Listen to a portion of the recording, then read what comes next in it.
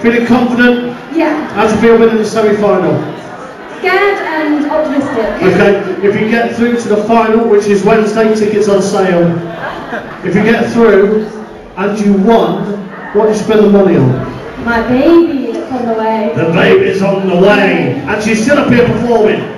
Oh, she's got a little way to go, yeah, haven't you? Yeah, yeah. You'll be alright. Gotta get really, really fat Exactly. Yeah, exactly. It's easy, I do that week on week. You got lovely women. Thanks. Let's go over to Hans. Um, Rosie, we just thought we'd um, make a few comments. I'll be as quick as I can. Um, a lot stronger than previous weeks. Um, obviously, you had a bit of a rough patch a couple of weeks ago, but you bounced back, which is absolutely brilliant. You thought about your performance. Vocally, you were clear and controlled. Great use of the stage, as always. One thing we would say is other than that, brilliant. Thank you. Thank you very much, H. Give it up for.